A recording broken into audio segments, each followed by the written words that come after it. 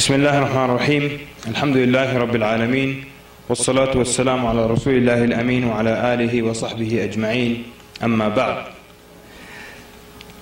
Today inshallah I'm going to talk to you about the important role of women in changing the home and in changing the community and ultimately changing the entire ummah. I'm not going to be giving you specific steps on how to change your home. I'm going to talk to the women, to our mothers and to our sisters about their important role. Because many Muslim women feel that if they do not have a career, that they're less of a woman. And that if the woman does not work full time, that she's less than the other woman who has a career and who works full time. And that a lot of women also feel that getting an additional paycheck is more important than raising their children. So a lot, of, and, and as I speak, a lot of women will think we're saying don't work, don't have a career, don't pursue the education. And they will think that because of the negative image that a lot of people have regarding Islam, and some women even believe that Islam is unfair to women. But that's not what we're saying. I didn't say it's not important to have a career. I didn't say it's not important to get an education. I said the role in the home is more important than that. Because traditionally the father was the one that would be outside of the house all day, and then the mother would be the one who would start to first teach the children their first ayat of the Quran. The mother is the one that makes sure the first, the child, the first word that they say is Allah. She is the one that would encourage them to seek knowledge. But now both are in the street, the, the father and the mother, both parents. And so the children, they begin to have a lot of problems. From values that they don't have, from morals that they don't have, from even the simple concepts such as bonding, which is when the infant bonds with the mother. And you can study the books of psychology and see what happens to children when they don't bond well with their mother during infancy. So the other negative image is that the woman is told your job is to cook and to clean. You see how derogatory they make it sound. All you have to do is cook and clean. That's not what we're saying. We're talking about raising scholars, raising the warriors of this ummah, raising the good Muslim men and women who will be the ones who will receive the victory or the upper hand of this ummah. And some women now, they're proud that they can't cook. They boast to you, I can't cook. Like it's such a good thing, mashallah. You're such a modern woman now. You don't know how to cook, you must be a very educated woman. So many sisters can't sew a button if it breaks off a shirt or a garment. And they're proud of that, I can't sew. Oh mashallah, how advanced you are. Not that there is any shame with knowing how to cook. You know the role of, of the Muslim women when it comes to the ummah? Someone described it or gave it a very beautiful comparison. It's like the role of the archers in the Battle of Uhud. They were not in the forefront, they were not in the thick of the action, but they had the most important position. They guarded the army, and if they moved, the whole army would be uncovered, and the whole army would be defeated. So you're the silent heroes. You're the ones doing all the great work. You're the backbone and the structure.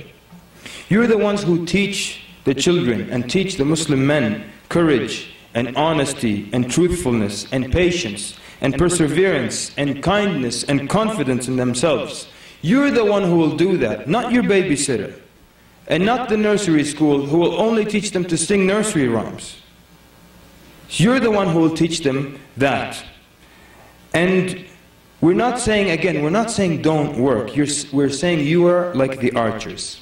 The archers, when they left out trying to get the spoils, the army was uncovered and it was defeated. But same thing, when you leave this most important position to go out for the spoils, to go out for the extra paycheck or something like that, you leave the army, you leave the ummah uncovered. And you know, notice I mentioned courage, yes, when I said you teach courage and honesty and truthfulness. Uh, show of hands, which of the sisters uh, are courageous in this room? Okay, so, so a small percentage, the brothers can't see, but a small percentage of sisters are courageous. Now, honestly now, which of the, of the mothers in the room teach courage to their children? Show of hands. You teach your children to be courageous? Okay, that's good. That's good. Because these are qualities you don't find anymore. It just, it's just too much now. You'd barely find a woman who will teach her son to be courageous. The son will throw a fit and scream and cry, and he's 12 years old, by the way, publicly in the market and all these things. She doesn't even tell him to act like a man, to behave, to be brave, to be strong. Even uh, the stereotypical Arab father, who is so strict and severe in the Arab lands, when he comes here, I was at the dentist, there was this kid his turn was coming up. They didn't even put him in the dentist chair. This is in the waiting room. He's beating his father. He's 12 years old or something. And the father just wasn't reading the newspaper. I said, what happened to the good old Arab father? Okay. The Prophet ﷺ said to the Muslim woman, take care of your home, for that is your jihad. That, that means it's a very important position. And it's more important than the extra paycheck and more important than so many other things. The extra paycheck and the wealth you get from that can't compare the reward you'll get if your son becomes a great scholar of Islam. Or if your daughter learns her religion and teaches it to other women. And you know the story of Imam Malik rahimahullah. When he was a young boy, you know what he wanted to be when he grew up. Yes? He wanted to become a singer. And who is the one who changed his mind about that? It was his mother. She changed his mind. And she was the one who encouraged him to not become a singer. And she started to encourage him to want to study the religion. And the things that she would do, he was a young boy, she would dress him up like a young scholar. And she would put a turban on him and dress him up like a young scholar, this young boy. And sometimes she would walk with him to the masjid because he was too young to go to Fajr by himself in the dark. And she would tell him, go to Rabi'at al-Ra'i, this great scholar of Medina, and learn from his manners and learn from his knowledge. And she encouraged him to do that. The way she dressed him up as a small scholar or an imam, just the same way now we dress up our children as policemen and as firefighters and we make them love these occupations. How many people, and I just still would love to see the day when, after the Jum'ah khutbah, some father will bring his child and put him up on the minbar and say, huh, you see, yalla, you're the imam, yalla, speak to the people. No, but we buy them these plastic badges and fake guns, yalla, you're a police officer, you're a firefighter. So sisters, next Friday, or any Friday when school is out, have, make sure your husband, he puts your son up on the minbar and tells him, look, you're the imam of the ummah. Imam Ahmad, rahimahullah, his father had passed away, and so his, mo his mother raised him. One man used to say about Imam Ahmad, he says, كنت أرى أحمد بن حنبل يحيي الليل وهو غلام. I used to see Ahmad ibn Hanbal pray the night, stand the night in prayer while he was a young boy. Where do you think he learned that from? It was from his mother. And the excellent relationship is very famous, the excellent relationship he had with his mother and how obedient he was to his mother. Ibn Hajar rahimahullah, his mother didn't encourage him to, to knowledge. It was said that his older sister was well versed in language and poetry. She was the one who got him interested in knowledge. Ibn al-Jawzi, another great scholar of Islam, rahimahullah, his aunt was the one who got him interested and the one who took, took him to learn uh, from the muhaddithin. Rabi'at al-Ra'i, this, this teacher of Imam Malik that we mentioned earlier, his mother spent thousands of dinars that her husband left her, she spent it on educating her son, who became a great scholar in the Masjid al-Nabawi in Medina. And Imam Ahmad ibn Hanbal is mentioned that he had over 400 teachers. He studied with over 400 scholars during his travels. But amongst them were women scholars. Imam Malik had his daughter Layla, who used to memorize the book Al-Muwatta. And she memorized it so well that if one of the students made a mistake, and the Imam didn't catch the mistake, she would knock on the door because she would be listening. Then the Imam would ask him to repeat himself. He would pay attention that someone made a mistake. The daughter of the great scholar Sa'id ibn Musayyib, when she got married, her husband got dressed to go to the halaqah. She said, where are you going? He said to the halaqah of Sa'id, she said, sit down, I'll tell you what Sa'id says. That's the amount of knowledge that she had.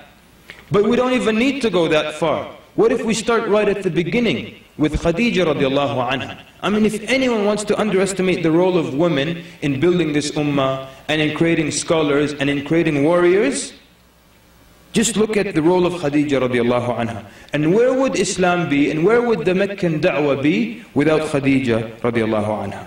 Even when the Prophet ﷺ, before he became a prophet, when he loved to go and meditate and, and do the tahannuth, sit in the cave for a long time, sometimes he would stay for a month, she would send the servants there to, to give him food. So he wouldn't have to interrupt himself and come back all the way to the city to get some food. She would send servants to him to give him food. But look at the instructions she would give them. Because she knows her husband, sallallahu alayhi wasallam, is dedicated to something and wants to do something. She would tell them, just put the, the food at the mouth of the cave and leave. Don't walk in and distract and talk about the news and what's happening in the village. She would tell them that. Look at the attention to detail. Look at how when the Prophet ﷺ came back and he was afraid and he said, Zammiluni, Zammiluni, cover me. She covered the Prophet ﷺ. And she waited until he calmed down, then she asked him what happened. And if this were to happen, and the woman is not wise, you come in, there's a calamity, you say, cover me. She said, what for? What happened? Cover me. What happened? No, you won't cover you until you tell me what's going on. Now you have two calamities instead of one. Look at her analysis when the Prophet ﷺ explained to her what happened. She immediately saw this can't be from the shaitan, it can't be from the jinn. She analyzed it quickly that you are the Prophet of Allah. Why? Because of the goodness of the Prophet ﷺ. And then she takes him to Waraq ibn Nawfal who confirms what she's saying. Look at how she supported the Prophet ﷺ financially. How she suffered alongside the Prophet ﷺ. Where would the early da'wah be if the Prophet ﷺ had a wife that nagged him? Where would it be? Where would the da'wah be if she would tell him, you don't spend time with me, stay home with us, let's talk, let's have a, you know, a candlelight dinner tonight or something like that. And the successful du'at also had good wives who supported them. So look at it in terms of reward. Look at the amount of reward you get when one of your children becomes a scholar of the ummah. Or your husband is a da'iyah, but you allow him to go out on journeys and you allow him to go and do the work. Whereas if you constantly nagged him to stay home and so on and so forth, which he needs to give you the, your rights from that, but if, if it was so severe that he couldn't go out, you think he, you don't get the share of the reward when he goes out and does good work? Of course you do.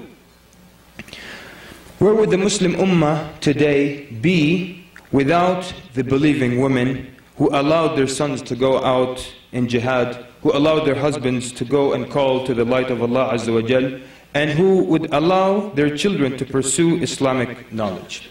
Now let's be realistic. We don't just want uh, to, to give a touchy-feely and uh, uplifting kind of talk and not be realistic with ourselves. So now I'll ask the sisters a question, because you are the important ones here. I'll ask you this question and you answer it to yourself.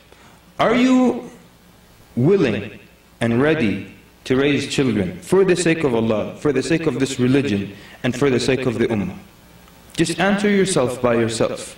Are you really willing to raise children for the sake of this deen? To give the upper hand to the Ummah of Muhammad sallallahu alaihi wasallam? So if you answered yes to yourself, now answer this question. If you have a son who is very intelligent and bright and gets the highest grades, and you expect him to become a doctor or an engineer, and then he tells you, I want to study Islam. I want to become an imam. And you're sitting at a gathering, and Sister so-and-so, her son has been accepted at Harvard University. And Sister so-and-so, her son will become a genetic engineer. The other one, a nuclear physicist. The other one, a cardiologist. And what's your son going to be, sister? what? Imam. Imam. Would you accept that? You know, the way we belittle the deen these days, besides the fact that we have, as one speaker put it, the dumbest people to go study deen, in some situations, I mean. But Besides that, people always ask this question, study deen? What are you going to be when you grow up? An imam? And they see it as a ridiculous thing. You're going to become an imam? And they forget the dua in the Quran. وَاجْعَلْنِي لِلْمُتَّقِينَ إِمَامًا Make me an imam for the muttaqeen, for the people of taqwa. It's not an easy thing, and it's not an easy position. So what is the difference between the reward you would get if your son is an imam or a da'iyah and the wealth you would get if your son is a doctor or an engineer? And once again, we're not saying studying medicine is not good. Some people will take it that way. And we're not saying engineering is not good. We're saying it's good, but it's not the best. The best is the study of the deen of Allah subhanahu wa ta'ala. That is number one. But this is something that we, we can't even fathom nowadays because we put it at the bottom, the lowest rung of the ladder, studying the religion of Allah. There was, uh, there's a true story where a man had two children and one of them wanted to become a doctor and the other wanted to study Sharia. So the father was very angry with the one who wanted to, to study Sharia, but he kept praising the one who became a doctor. And the one who studied Sharia then, when he graduated and he became an imam or a leader of the Muslims, he was, and the father became very ill. And the imam is the one, because he understood these values, he was the one that took care of his father. All his life, the father was proud of the doctor. But when he was on his deathbed and he was ill for a while, the doctor never came to visit him and didn't give him any attention. And the imam was the one that would walk him to the restroom, he would wash him, he would help him with wudu, he would feed him, he would take care of him, he would stay by his side at night. It was the imam. And then only at his deathbed did he realize that the position of imam is far more honored than any other position. So only at his deathbed did he realize that. And we pray that people realize it now before it's too late. So, what's the relationship? How much wealth would you get if your son is an engineer or a doctor, versus how much reward would you get if your son is a scholar? Or if your daughter also learns the religion, she teaches it to others. You know, the great scholar Abu Yusuf, the student of Imam Abu Hanifa, rahimahullah, Imam Abu Yusuf, and he was one of, of those who really did the most work for the uh, Hanafi madhab, and he was the one basically who put together the books and the volumes and formulated a lot of the opinions along with some other students of the Imam. But Imam Abu Yusuf, one time, he was sitting with the Khalifa, Harun al-Rashid. And Harun al-Rashid offers him to eat from al-falawzaj. Falawzaj is it's basically a kind of sweet, very nice kind of dessert. So to honor him, he offers him to eat first from al-falawdaj. So Imam Abu Yusuf, and he, later on he becomes like uh, Qadi al-Quda, which is like, uh, kind of like Chief Justice. And he, would, he had been, an, uh, basically he smiles.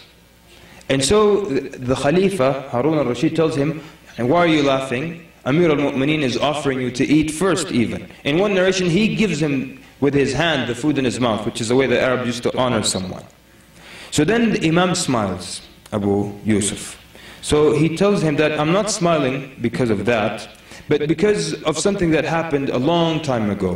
He tells him I was an orphaned young boy, and my mother used to send me to a craftsman, you see?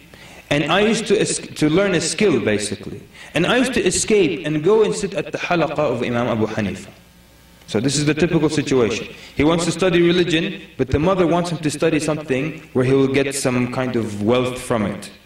And so his mother would come, when she wouldn't find him at the craftsman, she would know that he skipped the, the, the craftsman's class to go study with Imam Abu Hanifa. And she would come to the halaqah, and she would yell at him, and she would tell him, nothing corrupted you except this man, meaning Abu Hanifa. And Abu Hanifa, rahimahullah, would tell her, Leave him, for I teach him the knowledge which, with which the kings will feed him the falawdaj in his mouth. And it happened so many years later, and that's why when he was offered the sweet, he smiled. He remembered what the Imam told him. So much honor that the man got. Just like others of the, of the teachers of Imam Ahmad ibn Hanbal, rahimahullah, where the father used to insist that the boy works with him at the business, but the boy would go to, to, the, uh, to the halaqah of the scholar, and the scholar was the judge of the city. So when one day the, the child is sick, the judge and all the important people and the nobles come to the house of the boy to see where he was. He was such an excellent student. So the father tells him, I never thought the judge and all these important people would come and knock at my door. And from that day forward, he let the boy go and study the religion. So realistically then, to our mothers and to our sisters, your child, if they wake up on a Saturday and they have to go to Quran school, which is only about two hours of, of school time, and they wake up and they're tired that day, will you let them stay? Or how would your reaction be compared to if they wake up Tuesday morning and they say, I don't want to go to school today? How dare you? You don't want to go to school today? There will be a lot of things. There will be beatings and whipping and biting and all kinds of things. How dare you don't want to go to school today? But if it's Quran school, it's Saturday, it's his day off, stay. It's okay. You know, the best students we found in, in these Islamic schools, especially the part-time schools, always, always, the best students are the ones whose parents care about them coming to that school. Always the students with the best grades in these Islamic schools, are, meaning the weekend schools, are the ones whose parents say, you know, what did you, they teach you today? Do you have any homework? Do you have anything to study? These are always the best students. And the worst ones are the ones whose parents don't care. I used to teach in one school for five years. Many times the students wouldn't come. Where were you last weekend? I was just tired, didn't feel like coming. And your parents let you? Yeah, they let you. I would love to see the conversation in that household if Wednesday morning he says, I don't feel like going to school today. No way. No way. Yeah? Yeah, There's going to be beating, there's going to be yelling. No way. So, how many of the sisters. And again, ask yourself this question so we can realistically assess ourselves. The, the point is not to make you feel guilty or to put you in a hot seat or make you feel that you're not worth it, worth it or anything like that. No. The point is just let's be realistic. How many of the sisters wake up their, their children who have reached praying age for Fajr? Okay. Uh, all right, Jazakumullah for putting your hands up. I, I, didn't want you to, to put your hands up so that those who don't put their hands up will be put in the hot seat. But uh, I was just recently talking to someone in the Muslim land, and he was talking to me about how all his children go to the masjid for Fajr. They all wake up and they all walk to the masjid. And they're like 10 and 9 and 12 and so forth. I think the oldest was 13. But all of his three sons go with him to Fajr every single day whether they have school or not. He said, it took my wife a year to recognize that they should go to Fajr. She would say, no, they're sleeping. Well, obviously they're sleeping. It's 5 a.m. What do you expect then? They're sleeping, yeah. But we wake them up and they go to the masjid. Now, a year later, now she's just used to the idea that yes, yes, they're young, but they should go. You know, so many times, and, and this is what we're talking about. You know, where is the courage? Where is the iman? Where is this type of tarbiyah? It's always, oh, let him sleep. And it's so sad that Allah, and, and I pray no, of, none of the sisters in this room are from that group. A lot of times tarbiyah, now raising children, has come down to two things. Eat and put on your jacket. That's it. Put on your sweater. Put on a jacket. Where's your hat? Where's your mitten? Eat. Eat. You didn't eat. Eat. Finish your vegetables. Eat. This is tarbiyah now. Eat, eat, eat. Let me tell you something, sisters. This is some logic here, just pure logic, okay? No emotion, all right? There is no living thing on the planet that will not eat if it needs to eat. There isn't. I'm serious. And, and I'm not just trying to be funny. And even my wife, I try to explain this to her. She's trying to force the food down the kid's mouth. He doesn't want to eat. No living thing will be hungry and not eat. You know why our children hate food? They don't want to eat because we force it down their throat. Other people, they punish their children, they say, no dinner tonight. The child will get upset. No dinner tonight? You know why? Because they let them eat naturally. When they force it down their throat, it's a horrible thing. When I lived in Pakistan, my mother used to force me to drink buffalo milk. I hated it. It was fresh, it was thick, and they used to put some other spices inside of it, and I would throw up the milk back into the glass, and my mother would beat me and I have to drink the vomit back. Wallahi, I'm not exaggerating. You mean, you think I'll die if I don't drink that milk? Leave the milk. No living being will be hungry and not eat. So let the child just eat. Don't force them. Don't stuff food down their throat.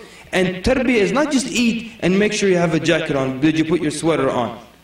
I know uh, one sister, she lets her children go just as they go. And one day if they go to school and it's a cold day without a jacket, believe me, they're also intelligent. Next day, they'll remember how they were freezing all of recess. They will take their jacket next day. So these are things we focus on that we don't need much attention anyways. All living beings with, you know, decent brain will take care of these things. Eating and putting on a, proper coat or jacket, things of that sort. But so many times we find these issues. And you tell you might tell your wife, you know, wake me up at this time, all right? So I'll pray, and so I'll do this, and I have to go there.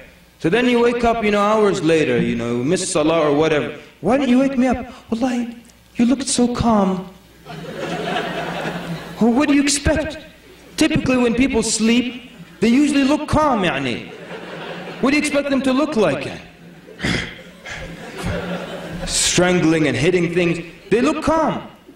Always women do that, yani, in my family at least. Why didn't you wake me up? You looked so calm. Eh, that's normal. I warned you that I was about to sleep, yani, so I'll look calm. But again, I'm talking about the this feeling of, you know, what is important and what comes first and what is essential. Like we we're talking about Fajr for children. They think it's like a nightmare if the child wakes up early for Fajr. He can go back to sleep. And they'll do a good job at that. And they'll do a good job at taking the, the, the nap when they come back from school or whatever, whenever time it is for that nap. So, so sisters in Islam, then you have a special place and you have a pivotal role. And if you are righteous, most likely you will have good children. And many times the young men and women who commit sins and do the sins openly, they didn't get a good upbringing most of the time. Allah Azza wa has given you the greatest position and the greatest role in this ummah. And it's not the position of being a secretary or being this or being that, but it's being the one who is the backbone and part of the integral part of the success of this ummah and the strength of this ummah. So don't be ashamed of that, this great position Allah Azza has given you. I mean, there is, is, there is a kafir organization in the United States that their whole job is to promote the position of homemaker, they call it. Yani, homemaker. And they have bumper stickers uh, to the effect of, you know, homemaker is the most important job, or I have a very important job, I'm a homemaker. I mean, even this kafir group realizes the importance of taking care of the home. And it's not the television who will raise your children, it's not the babysitter, and it's not the daycare center. Allah Azza wa Jal honored you, the Muslim woman, and so do not allow anyone to dishonor you. Allah Azza wa gave you this great honor. I remember one time, uh, my wife was telling me there was an Islamic event at a hotel like this, and there was another event yani, within the hotel, and for that event there was a dancer, yani, like a belly dancer, invited. So she was getting dressed in the restroom, and the Muslim women were there, so they were talking to her, and it wasn't giving her da'wah, unfortunately. They were looking at the, the, you know, the little things that shake and glitter and at her outfit while she was putting on her haram little outfit. So, so my wife was telling me how the dancer suddenly looked at the Muslim women, they're all wearing hijab and jilbab. She said to them, you can't wear things like this, can you? And all of them said, yes, yes, we can. And they don't mean at home. She's talking, you can't, you couldn't do what I do. And they're trying to show her, yes, we can be like you. But you're in a position of honor. You bring yourself down to being dishonored, or you tell her no. And Allah Azza wa gave us far better than that, than to uncover ourselves and go dance in front of people, in front of men. And they could give her da'wah, but they didn't. They're like, how much does this cost? And what's the, the thing that jiggles and makes this sound? And all these things. Allah Azza wa commanded everyone to respect you. Everybody was commanded to respect you Just from the normal men, from the yani, average man, from the man in public, to not look at you, to, to lower their gaze, to not make you an object. From your children, Allah Azza wa says in the Quran, وَوَصَّيْنَا الْإِنسَانَ بِوَالِدَيْهِ حَمْلَتْهُ أُمُّهُ وَهْنًا عَلَى وَهْنٍ وَفِصَالُهُ فِي عَامَيْنِ أَنِ اشْكُرْ لِي وَلِوَالِدَيْكَ إِلَيَّ الْمَصِيرِ Here, Allah Azza wa now is telling your children to take care of you, your children to honor you. Allah Azza is saying, and we have enjoined upon the human being to take care, to take good care of his parents. Then Allah specifically talks about the woman, how she carried him travail upon travail, yani difficulty upon difficulty. And she weaned him for two years. So show gratitude to me and to your parents. Show gratitude to me and to your parents, for to me is your final goal or your final return. The Prophet ﷺ also was asked by a man, Ya Rasulullah, man ahaqqu nasi bihusni sahabati? Which of the people deserves, the, most deserves my, my good treatment or my good companionship? And the Prophet ﷺ tells him, ummuka, thumma ummuka, thumma ummuka, thumma abuk. Your mother, and then your mother, and in one narration is asking, then who? Your mother, and then whom? Your mother, three times, and then your father. So your children have been asked to honor you and to respect you. Your husband has been asked to honor you and to respect you, or commanded more correctly. The Prophet ﷺ in the farewell pilgrimage, in front of a hundred thousand of the companions, he said, "Ala wastawsu bin nisa'i khayran. Ala wastawsu bin nisa'i khayran." He reminds the men to to to take good care of their women. So the husband commanded to take care of the woman. The children commanded to take care of the woman. And in the hadith in Ibn Majah and Tirmidhi, the Prophet ﷺ said, خَيْرُكُمْ خَيْرُكُمْ لِأَهْلِهِ وَأَنَا خَيْرُكُمْ لِأَهْلِهِ The best of you is the best of you to his family. And I'm the best of you to his family. And this is the truth here. So now for the brothers, the best of you in this room, you should be the best to your family. But some people, they don't realize this and they think there are just different parts and segments to Islam. So the brother will be in the masjid, mashallah, alhamdulillah, astaghfirullah, astaghfirullah. But he goes home, uses the F word with his wife. One of the brothers used to kill us talking about da'wah, da'wah, da'wah, da'wah, da'wah. We're going to take over the world, we're going to take over the earth, we're going to start here, we're going to start there. This guy was going to take over the earth. But then with his wife, he uses the F word. He puts her and his own son, his flesh and blood, to just to teach her a lesson. He'll throw her in a homeless shelter with the drug addicts and the drunkards. And he's talking about da'wah. And he uses such bad words. Total different personality at the home. So the best of you is the best of you to his family. And the Prophet ﷺ said, I am the best amongst you to his family. That is the true measure. And I know of a person Every minute you meet him, Sheikh so-and-so has a lecture on this. Sheikh so-and-so is coming to the masjid. There's a lecture in the masjid on this date. That's all he spoke about. But his reality, he would beat his wife so severely, so severely, that he would have to take her to the emergency room after beating her.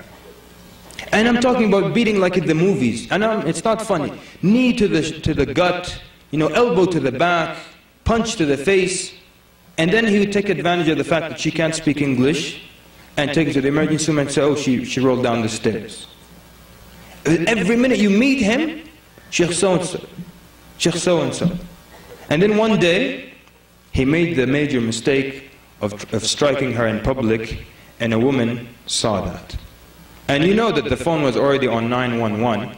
All she had to do was hit send. She hit send, and the police came and took him away. But you know what this poor woman said? And this shows you how great women are. This poor woman, this guy's been beating her and using her like a punching bag for so long. She said, the saddest thing I've ever seen in my life is when he was sitting in the back of the police car and they were taking him away. He should have been like, he should be happy. But no, she was hurt. So, the best of you is the best amongst you to his women. And so many traditional things have come and so many ways of treating the woman and being harsh with the woman. And I remember when I was married, people were giving me advice on how to be harsh with my wife. Why? What kind of advice is that? Plus it didn't work anyways.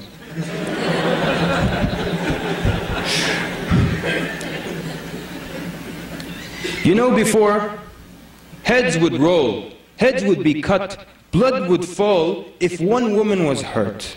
When the Jews of Medina, how they hated the hijab of the Muslim woman. So one Muslim went to the market of Banu Qaynuqa and they tried to get her to uncover her face to, sh to show them something and she refused. And while she was sitting, the, the merchant, he occupied her, so another man came and he tied uh, from her headpiece to like the, the lower garment. So when she would get up, she would be uncovered. So when she got up after that and she was uncovered, she screamed. And these Jews of Medina were happy and they were laughing at that. So a Muslim was overtaken by ghira. And he took his sword and he came and he killed that man. And so the rest of the people jumped on him and they killed him. And so the Prophet ﷺ, when he heard what they did to one woman, and in the result of that, what they did to and killed one man, he gathered the entire army and he besieged all of them, this entire group, this entire tribe, because of one woman.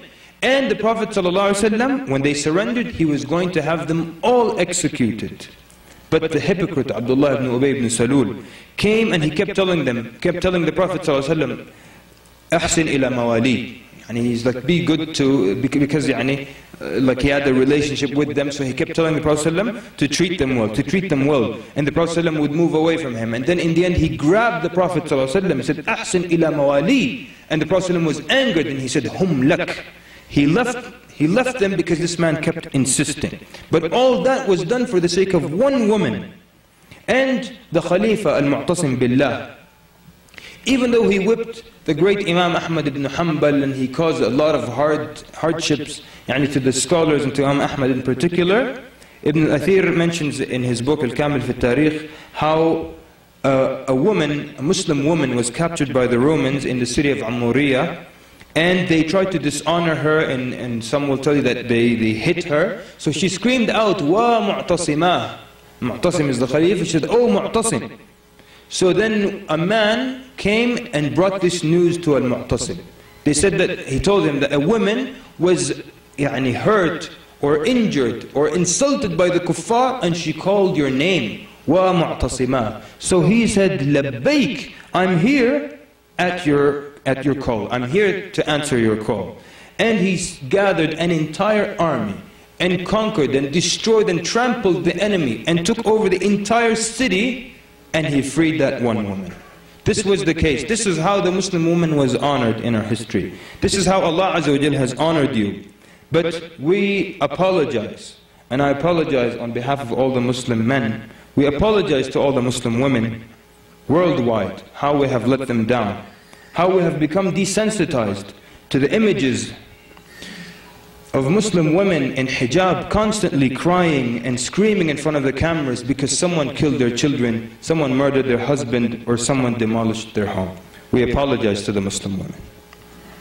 But the truth is, Allah Azza has given you a position of honor, and that of being the most important factor, and that of being the most important ingredient in the advancement and in the upper hand of our ummah, inshaAllah.